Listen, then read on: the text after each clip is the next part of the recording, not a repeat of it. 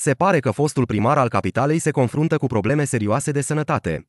Oana a mărturisit că din cauza tratamentelor costisitoare au ajuns să aibă probleme financiare. Nu este prima dată când Oana Lis se plânge de problemele financiare. Recent, soția lui Viorel Lis a mărturisit că le este destul de greu să se descurce din cauza faptului că majoritatea banilor se duc pe tratamentul fostului primar al capitalei. Oana Lis susține că depune toate aceste eforturi din iubire pentru soțul ei.